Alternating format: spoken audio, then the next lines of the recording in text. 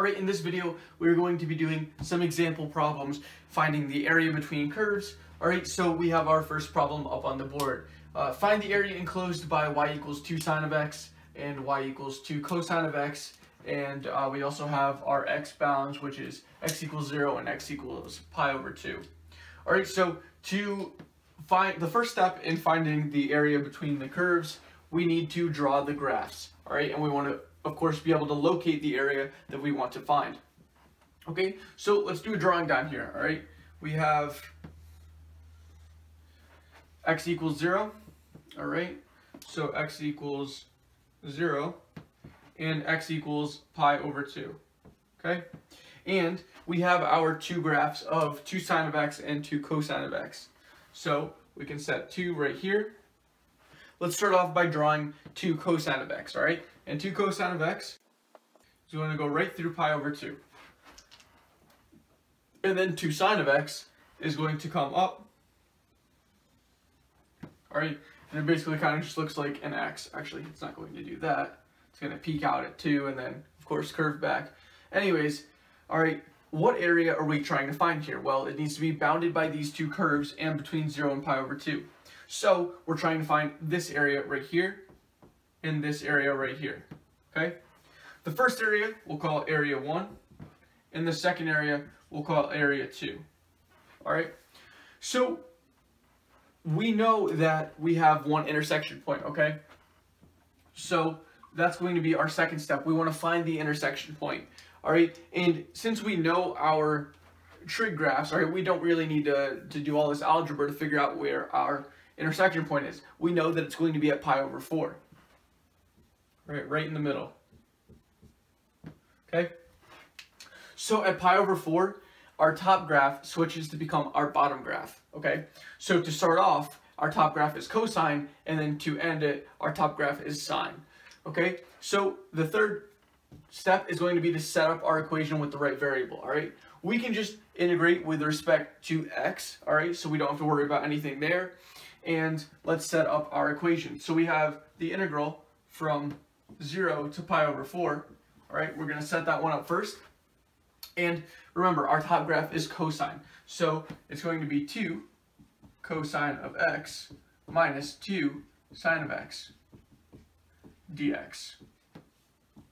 All right, then we're going to add on our second area, all right? And our second area is going to be the, the area from, oops, from pi over 4 to pi over 2 and that's going to be 2 sine of x minus 2 cosine of x. Alright, great. Now we can do a little bit of manipulation before we integrate just to make the, the integral a little bit easier. By that I mean we can take out that 2. Alright, little stuff like that that we can do. So we can actually take out a 2 of the whole entire thing, but I'll show you it step by step uh, to the integral of 0 to pi over 4 of cosine of x minus sine of x dx, and then plus to the integral from pi over 4 to pi over 2 of sine of x minus cosine of x dx. Okay? So we can take a 2 out of this entire thing, but I don't want to really rewrite that whole thing, so we can just integrate now. So if we are to integrate here, what do we end up with? Well, the integral of cosine is going to be sine, and the integral of negative sine is going to be cosine. So we get plus cosine of x. All right, and we have 2 times that, and it's going to be evaluated from 0 to pi over 4. All right, and then we're going to add 2 times, well, what's going to be in here? We're going to have the integral of sine of x, which is going to be negative cosine. And we have the integral of negative cosine, which is going to be negative sine. So we're going to get minus sine of x. And that's going to be all evaluated from pi over 4 to pi over 2. All right? So now we just have to do our evaluations and we're set. All right? So first off, now we should factor out that 2 out of the whole thing. It'll make it a little bit easier as we go. So 2 times, well, we have sine of pi over 4 plus cosine of pi over 4 minus sine of 0 plus cosine of 0. All right, and then we have plus, it's going to be a negative cosine to the pi over 2 minus sine of pi over 2. And you're going to have that minus, we can draw that minus down here, and have it be negative cosine to the pi over 4 minus sine pi over 4. All right, and now we just are going to have to figure out what all of these are, okay? And of course we have our big parentheses on the end here. Don't want to forget that. So we have 2 times the sine of pi over 4 and the cosine of pi over 4 both rad 2 over 2. So we get rad 2 over 2 plus rad 2 over 2. All right, and then that's going to be minus, well, sine of 0 is 0, cosine of 0 is 1. So we're going to get a minus 1 here. All right, and then we get a plus uh, negative cosine of pi over 2 minus uh, sine of pi over 2. All right, both of those are, well, cosine of pi over 2 is going to be 0, and sine of pi over 2 is going to be 1. So we're going to get a minus 1 there. All right, and we also have our minus, so we have a minus here, and we have a negative cosine of pi over 4 minus sine of pi over 4. We know that we're going to get a rad 2 over 2 here and a rad 2 over 2 here. All right, they're both going to get subtracted, so we're going to have minus a rad 2 over 2 minus rad 2 over 2. And we can distribute this negative to the rad 2 over 2's here, make this positive, make this positive. Okay, so we're going to end up with 2 times, well, we have a 2 rad 2 over 2 here, uh, and then we have another 2 rad 2 over 2 here. So we get 4 rad 2 over 2, which is just 2 rad 2. And we have a minus 2 here. All right, so then we can distribute our 2. We get 4 rad 2 minus 4. All right. And that is going to be our answer for this problem. All right. So, of course, all we did, just to recap, we drew our graph, we found our area that we, you know, that we needed to find, and we found our intersection point, we set up our equation with the right variable, and we integrated, all right? The most tedious process here is just going to be the, the integration part. They're going to probably throw some pretty nasty integrals at you, or integrals that require a lot of this stuff, a lot of, a lot of evaluating. All right, so here's our next problem. We need to find the area enclosed by y equals x minus 1 and y squared equals 2x plus 6. Alright, I went ahead and drew the graph for this problem. This is probably something that you're going to need to uh, be able to like get in a graphic calculator. It might be given to you, something like that. But I don't think they're going to make you graph y squared equals 2x plus 6. Unless they ask you to maybe put it in terms of x. I don't know. There's, there's, but, it, but it's still a pretty complicated graph to, to actually graph. Um, Okay, so we already graph. We need to locate the area that we want to find. Well, our area that we want to find here is all this right here. If we integrate with respect to x, look what happens, all right? This is not, this, this graph is not always our top function, right?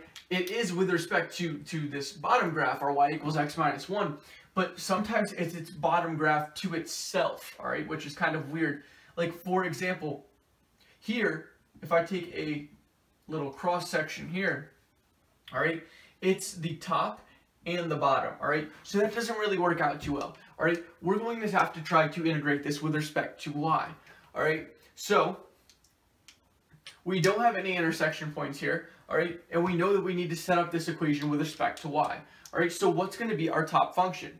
Well, if you remember, our top function is always the, the function that's more to the right, all right? And that is our x minus 1. But we need to put that in terms of x because we're integrating with respect to, or sorry, we need to put that in terms of y because we're integrating with respect to y.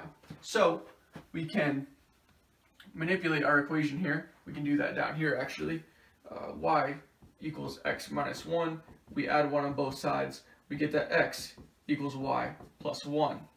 All right, so that's going to be our top of our equation. So we can do our integral, and we don't know our bounds yet. All right, so we need to have our y plus 1 right here. Okay, and we have our y squared equals 2x plus 6, okay?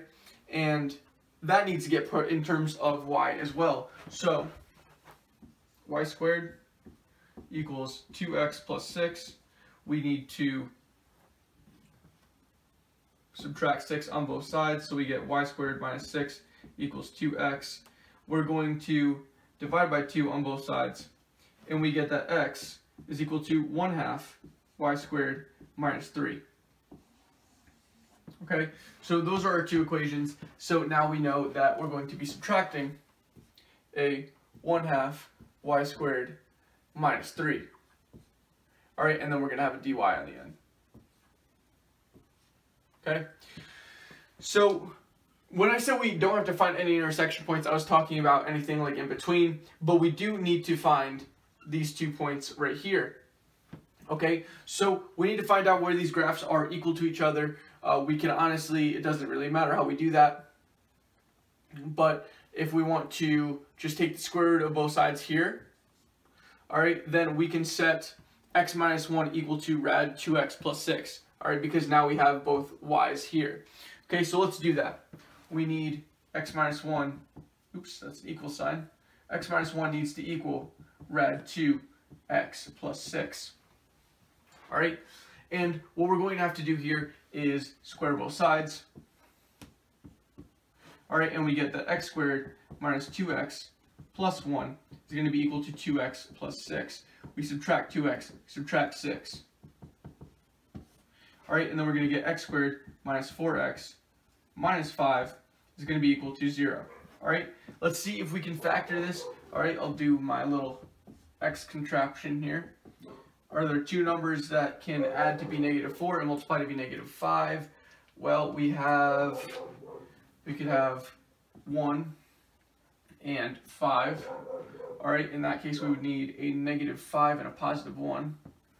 All right, so now we know that we can set this up as x plus 1, x minus 5 equals 0, x equals negative 1, x equals 5. So these are going to be our x's here. But remember, we need our bounds to be y's as well. So we can just plug it into this easy equation up here, our y equals x minus 1. When we do that, we get, so y equals x minus 1, y equals, we can do negative 1 minus 1, which is negative 2, and y equals 5 minus 1, which is 4. So now we know we need a 4 and a negative 2. So we're integrating from negative 4, or sorry, from negative 2 to 4. All right, so we can now integrate, okay? That's our final step. Okay, when we do integrate, we're going to get that the integral from negative 2 to 4 of what we have a plus minus plus. We can just distribute that negative 1. So we end up with a minus 1 half y squared plus y plus 4 dy. All right, and now we're able to integrate here. So now when we integrate this, we are going to get, well, we have a negative 1 half y squared. That's going to end up being negative 1 over 6 y cubed plus y squared over 2 plus 4y. And then we have that in that um, evaluated from negative 4 to, or sorry, negative 2 to 4. And now we can just evaluate. So negative 1 over 6, 4 cubed plus 4 squared over 2 plus 4 times 4. And then we're going to have that minus. We have a negative 1 over 6. y is going to be negative 2 cubed plus 4 over 2. I already, I guess I already put that negative 2 through. And then we have uh, plus 4 times negative 2, which is negative 8. Okay, so now we just do our algebra here. We have 64 over 6 negative 64 over 6. So negative 64 over 6 plus, it's going to be 16 over 2, which is 8. We got 16 over here. And then we have a minus a, uh, it's going to be a negative 8 times that's going to be 8 over 6, which is going to be 4 over 3. Then we have a plus 4 over 2 minus 8. All right, put that all in your calculator and see what you end up getting. All right, so I ended up with 18. All right, and that does it for this video. Okay, area between curves is, isn't really anything too hard once you just get used to it. All right, so I hope this helped, and I will see you guys in the next video.